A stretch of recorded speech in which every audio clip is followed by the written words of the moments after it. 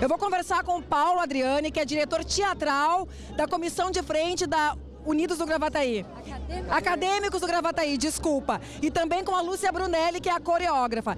A coreografia da Acadêmicos de Gravataí, ela nos traz, nos fala da transformação do mundo. A gente vem de uma, de uma escola bastante dedicada e bastante com uma ligação espiritual muito forte também. Vamos acompanhar então um trecho da escola que esse ano entra com o tema enredo Eis que tudo transformei, Gravataí transforma o mundo através dos cinco sentidos. Só que o tempo guardou essa energia que para no ar. Clarissa Lima para a TVE no Carnaval 2015.